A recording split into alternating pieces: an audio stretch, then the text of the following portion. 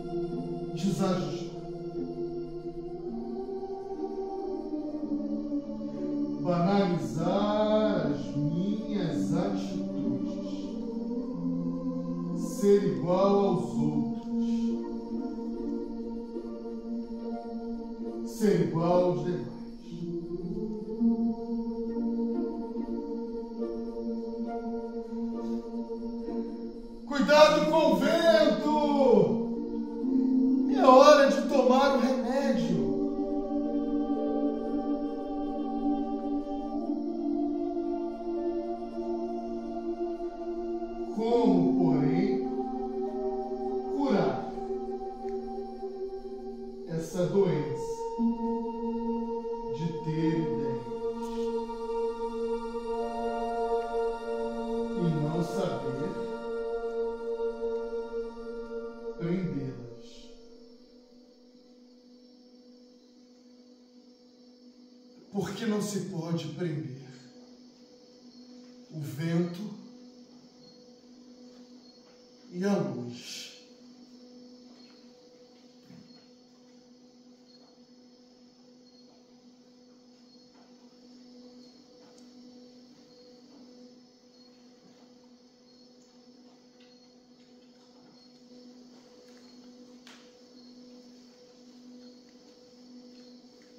Foi por amor.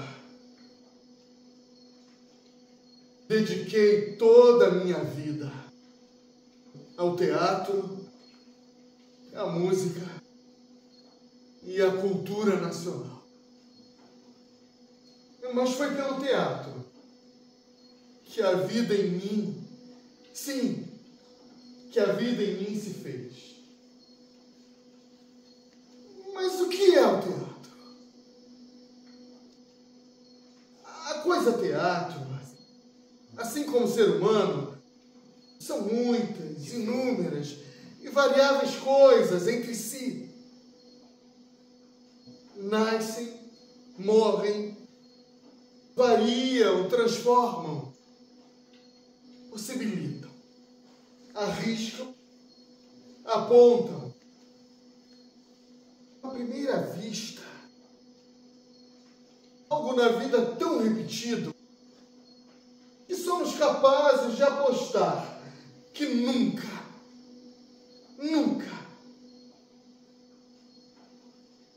aquilo foi vivido. Que maravilha! É o verbo teatrar. Eu teatro. Tu teatras. Ele teatra. Nós teatramos. Vós teatrais. Eles teatram. Eu teatro. Tu teatras. Ele teatra. Nós teatramos. Vós teatrais. Eles teatram. Eu teatro. Tu. Tu teatras. Ele teatra. Nós teatramos. Vós teatrais. Eles teatram.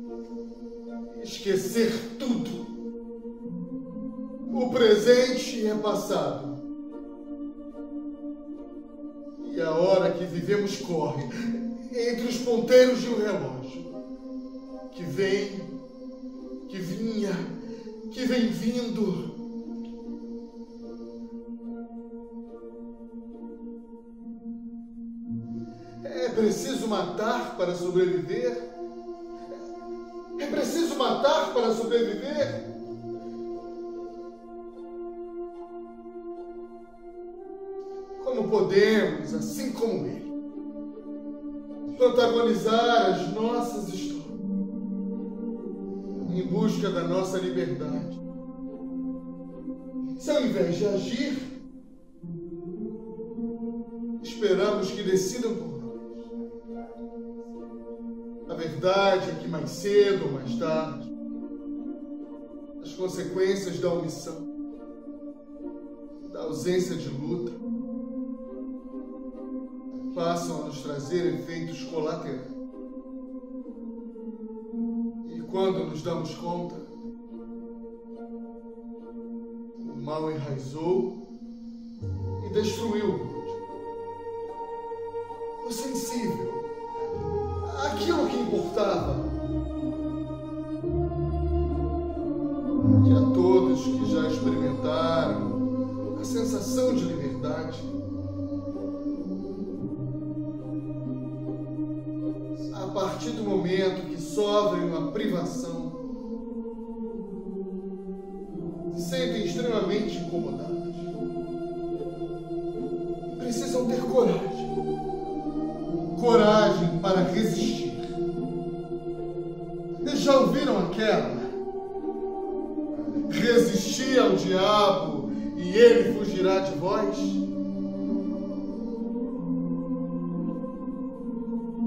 Qual é o diabo quer comprar a tua alma? Qual é o diabo a quem você se curva? O que é o diabo? Quem é o diabo? Quem?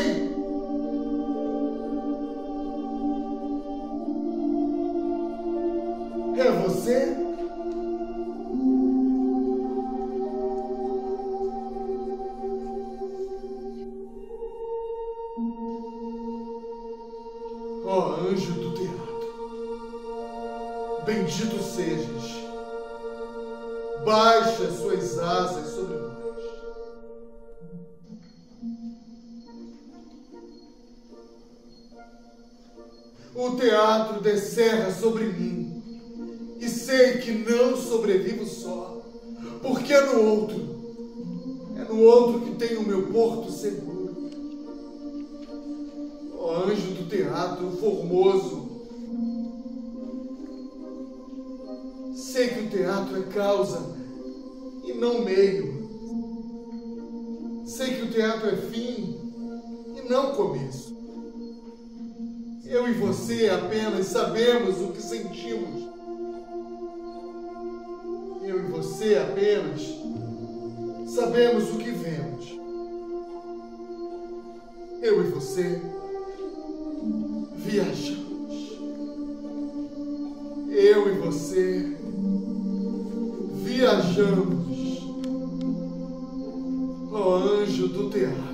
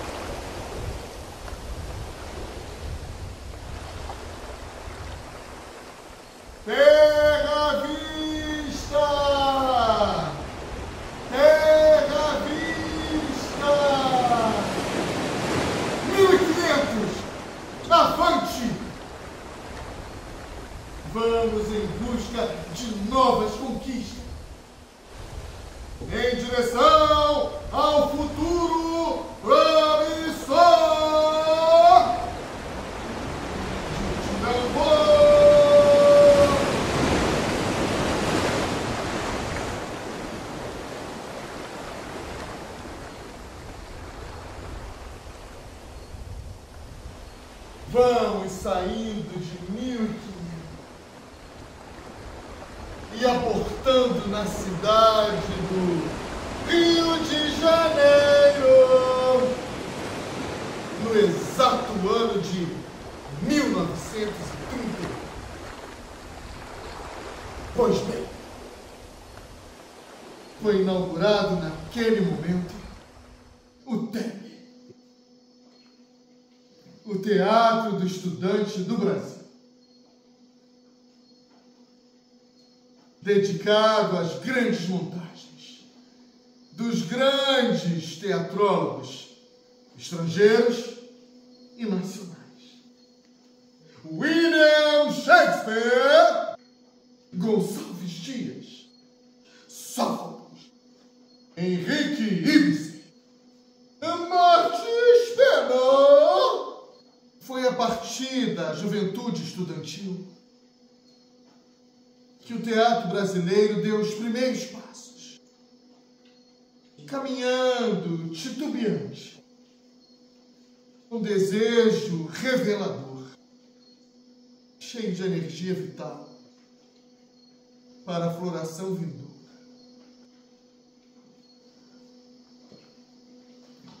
Algum acadêmico ortodoxo esbraveja. O teatro brasileiro começou com Anchieta e sua catequese aos índios. Nada disso faz sentido. Quando se pensa o que é o teatro e sua missão. Tentar ali foi impor tudo o que não favorecia a liberdade. Sim, o aprisionamento da mente e da alma. Portanto, não era teatro. Era qualquer coisa. Eu diria que era prisão. Teatro. O teatro mesmo. Só ele é capaz de libertar e expulsar os demônios das pessoas. Entendeu? O diabo.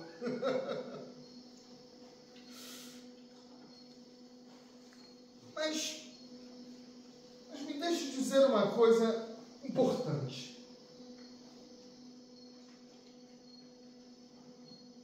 O teatro não se dissimula. O teatro não se engana. Não se corrompe. Ou se apaga o brilho de ser e de existir das pessoas. O teatro se é livre. toda fingida cordialidade excessiva, o exagero da aplicação de um dito amor ao próximo, buscando almas para salvar do fogo daquele diabo. Nada tem a ver com a verdadeira história de apagamento da cultura do Brasil.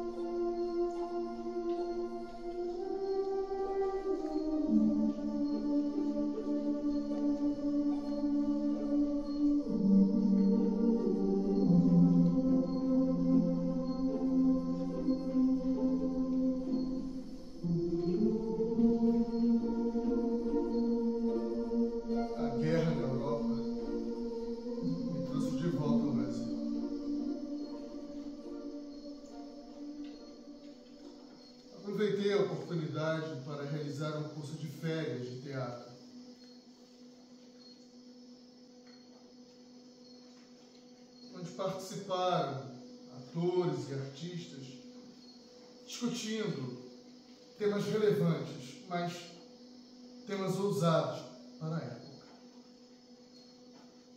Por exemplo, como o teatro e a censura. Isso atraiu a atenção dos militares. Eles tentaram impedir a continuação do curso.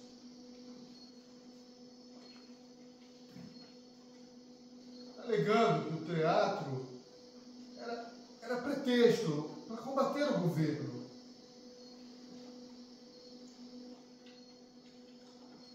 Em meio a todos esses embaraços, o curso seguiu.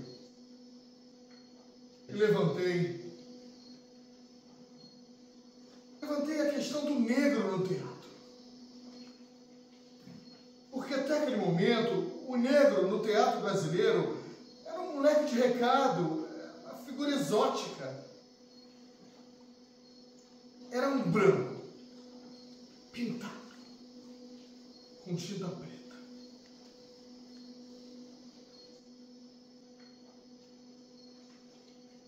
Foi nesse instante que uma voz cresceu, no meio da plateia. Era, era um jovem ator. Seu nome? Seu nome? Aguinaldo Camargo.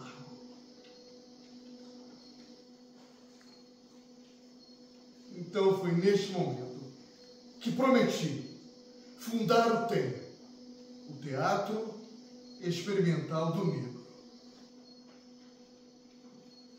E dois dias depois me reuni na casa dos estudantes com vários atores e atrizes negros. E juntos, juntos então, fundamos, fundamos o TEM, o Teatro Experimental do Negro. Que o Abdias Nascimento levou, levou adiante com total brilhantismo. Foi com o TEM, foi com o TEM que vimos o negro ser protagonista, herói. Iniciar a trajetória do negro.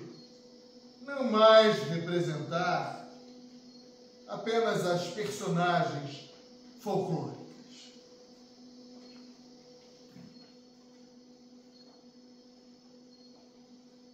Potencializando, potencializando agora o seu papel na sociedade brasileira.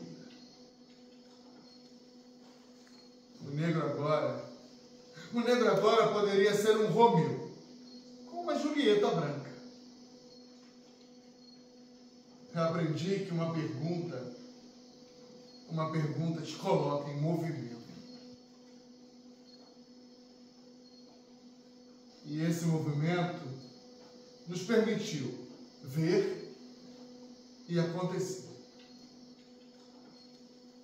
Grandes artistas, como Léa Garcia, Haroldo Costa, Ruth de Souza. Ruth de Souza, a primeira atriz negra a pisar no Teatro Municipal do Rio de Janeiro.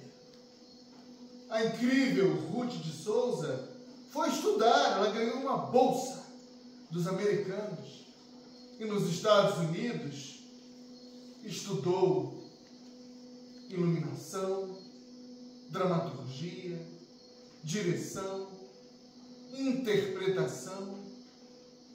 Ruth, quando chegou no Brasil, foi uma festa. Concorreu ao prêmio de melhor atriz com o filme Sim a Moça, em Veneza. Grande Ruth de Souza.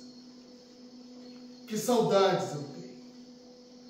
Saudades da atriz e saudades da grande mulher. Este é o roteiro de um homem. Sua luta por um ideal. O de fazer do Brasil um canto do mundo. Onde a cultura e os homens de inteligência, intelectuais e artistas tenham vez. Como disse Sérgio Brito, um dos expoentes filhos de Pascoal, Pascoal é um homem que tem um lugar muito importante no Teatro Nacional. Tem lugar do amor, do amparo, um sustentador de gente nova nesse difícil métier.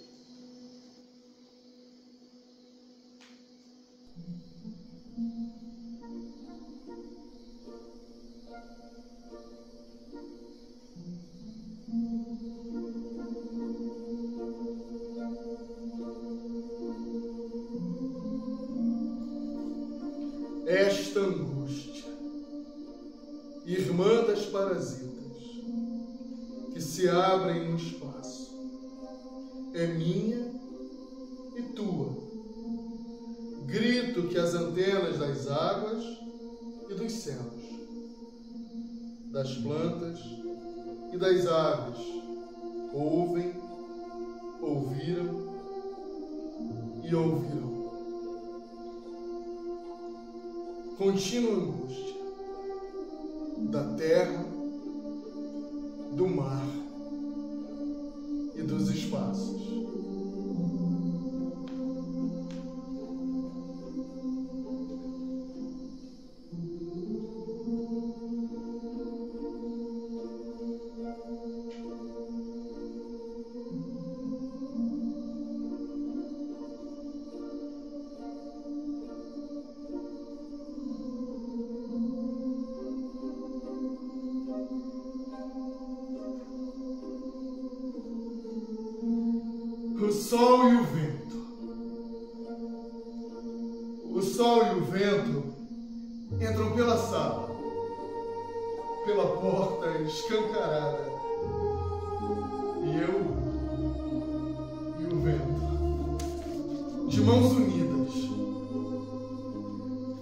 Aonde agora me levas?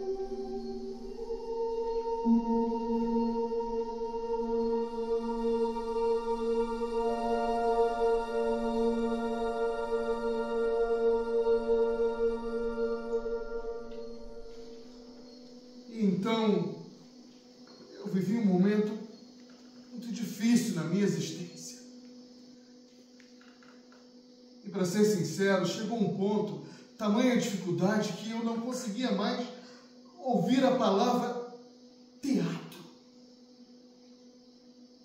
Foram muitas, inúmeras as dificuldades pelas quais atravessei. Então, eu perguntei ao meu chofer, você não sabe aí onde existe um lugar que eu possa tirar uns dias de férias? Um descanso? Então ele me disse: Sim, senhor Pascoal, eu conheço. É uma cidadezinha, pequenininha, acolhedora, bucólica. E eu perguntei: qual cidade? Que lugar é esse?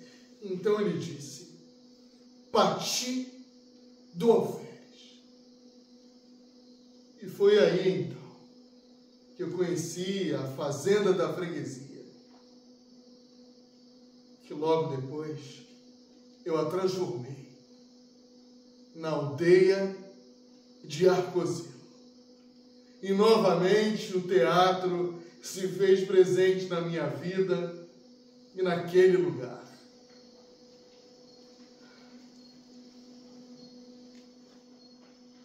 A aldeia de Arcozelo, espaço de arte e cultura, que já foi considerado o maior complexo cultural de toda a América Latina.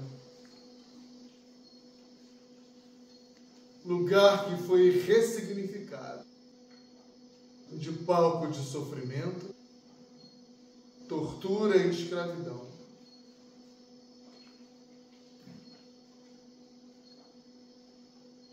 Há espaço de uma das maiores concentrações da cultura e do espírito de um povo. Mas o teatro teatro me ensinou a hora de entrar e a hora de sair de A vez de um e de outro falar. É desse modo que a peça flui no palco,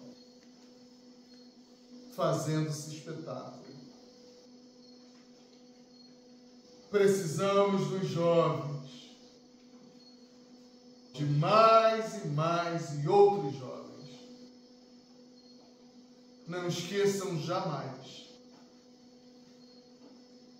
assim como no teatro, na vida, ninguém, ninguém é protagonista o tempo todo. Stanislavski já dizia, Hoje protagonista, amanhã figurante.